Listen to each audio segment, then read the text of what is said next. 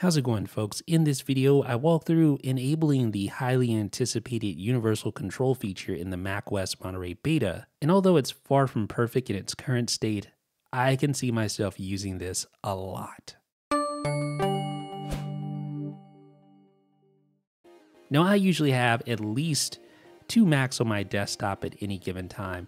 In this case, I actually have three. I have a Mac Mini mounted under my desk, but here in this example, you can see I have my MacBook Pro connected to a Pro Display XDR, and I also have the M1 iMac. So basically, in this case, I have two different Macs side by side. So that means two sets of input devices, in this case, two Magic keyboards, a Magic trackpad, and a Magic mouse all on my desk at the same time. So that really just takes up a lot of real estate and having to switch between the two is kind of cumbersome at times wouldn't it be better if you can control everything from one device or one set of devices? Well, that's how we're going to control our iMac right here, just using this mouse and keyboard. So let me show you how to set it up first if you're running the macOS Monterey beta. Special shout out to Zhuowei for providing the ensemble.plist file necessary. So you want to just right click on the raw button, select download as, save that to your desktop just like I did right there, ensemble.plist. You can find the link in the description as well if you want to get here. Now, what I like to do to make it as easy as possible is just copy the directory that he provides. So in this case, library preferences feature flags domain. So just copy that, Command C, and then we'll use that in a terminal window. Uh, so keep in mind though that if you're going to do this, it is a beta. So I don't advise running a macOS beta on a machine that you rely on for mission critical work.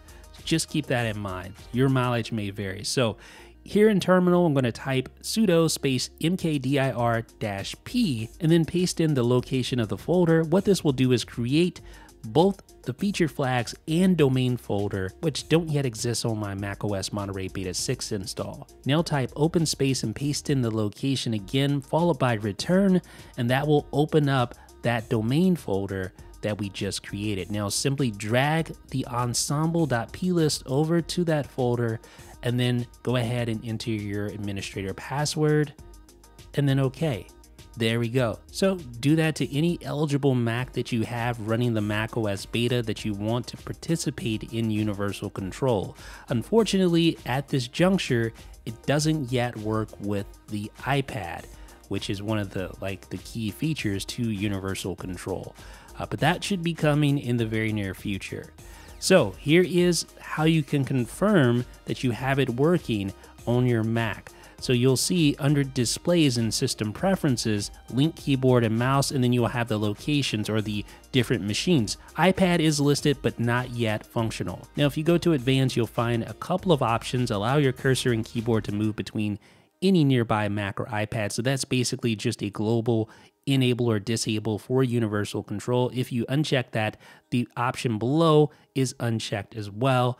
The option below basically allows you to do what I'm doing here, move your cursor to the edge and push through over to a nearby Mac. And I'll demonstrate that for you again in just a second. But if you go back to System Preferences Displays, you'll see the display arrangement, including universal control devices, and there you can also disconnect from another Mac that's using universal control.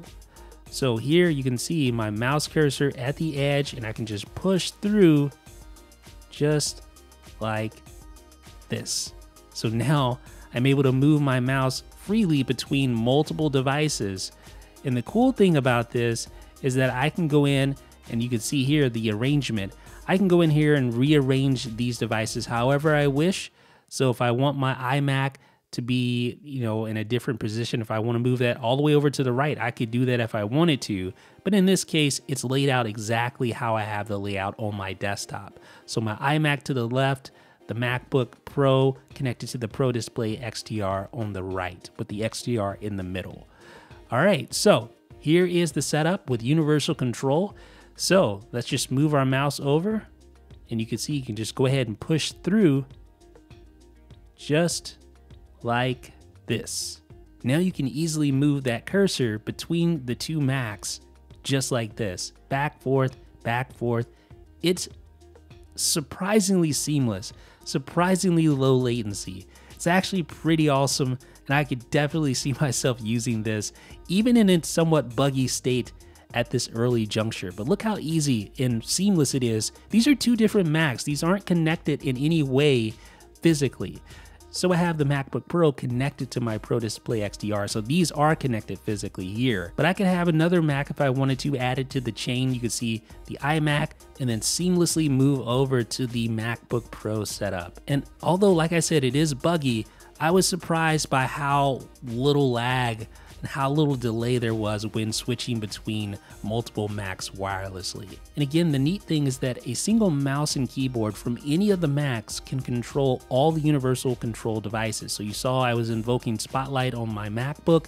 I just moved over to the iMac and was able to invoke Spotlight right there on that iMac as well. So this could help to simplify your desktop Mac setup, removing excess mice and keyboards from your desktop and just relying on a single pair there. Thumbs up if that sounds good to you. Now, of course, with my Pro Display XDR and my MacBook Pro, they're directly connected so I can easily move files between those two, but notice this you can copy files between independent Macs connected via universal control. Now, of course, there are limitations, like obviously you can't move a Finder window from one Mac to another or a Safari window from one Mac to the other. It's more or less a, a seamless way of copying files from one machine, whether it be a Mac or an iPad, to another. So like I said, this is still in beta and obviously this is a workaround to get universal control working in the macOS Monterey beta. Your mileage may vary. In the meantime, let me know what you folks think down below in the comment section.